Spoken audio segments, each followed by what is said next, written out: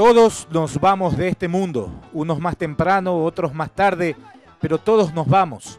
Pasamos por la vida, unos haciendo bulla, dejando huella, otros en silencio, casi nadie los recuerda. Pero hay quienes pasan por la vida como reyes. Uno de esos fue Pablo Aníbal Vela Córdoba, a quien un periodista radial le dijo una vez que era un loco tirapiedra y Pablo le contestó que si le tiraba una piedra, él le tiraba una cantera. Así nació el personaje el rey de la cantera.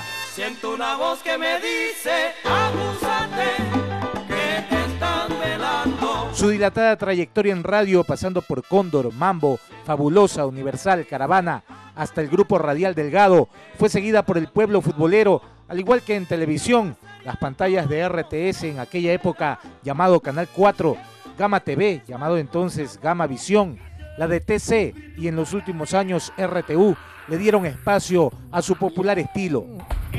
Amables televidentes oyentes de GRD Internacional, en la capital del mundo, la ciudad de Nueva York 106.7. Aquí estamos listos para presentar nuestra programación.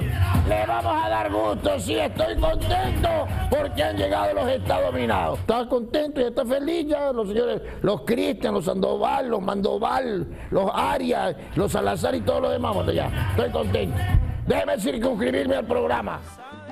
Sus cualidades histriónicas le sirvieron para incursionar en otros campos. Hizo películas de cine y participó en comedias de televisión. Su aparición era rating asegurado. A mí, todo me cuentan, todo me chamullan, todo me sapean. Nada es oculto. Deportivo, un programa de peso. ¿Qué le pasa? ¿Qué conmigo? ¿Y con quién Un a- programa colorido, puedo decir yo, ¿Qué pero usted colorido? dice lo ¿Por qué ridículo que viene con esa ropa. Usted no es mi amigo, soy amigo de su Otra papá. vez la Usted misma es conocido nada más. No Yo he andado por todas las calles de Guayaquil, he fumado, he chupado a lo largo y ancho de la patria. El haber llegado al umbral de la fama me convirtió en un energúmeno, prepotente, anchetoso, malcriado, petulante. De Pablo Aníbal cuando era niño, al Pablo Aníbal cuando era adulto, al Pablo Aníbal ya rey de la cantera hay una distancia tremenda. pues.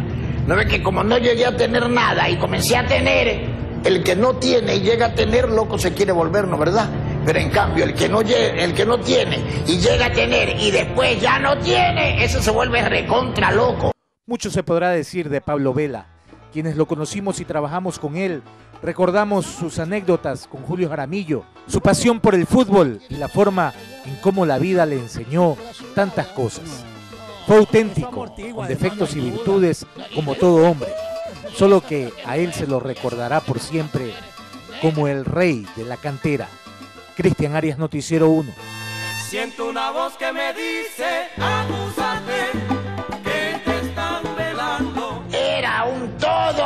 señor, el don. No ha muerto. Me creía el padrino de la mafia sin muerte. Están tirando.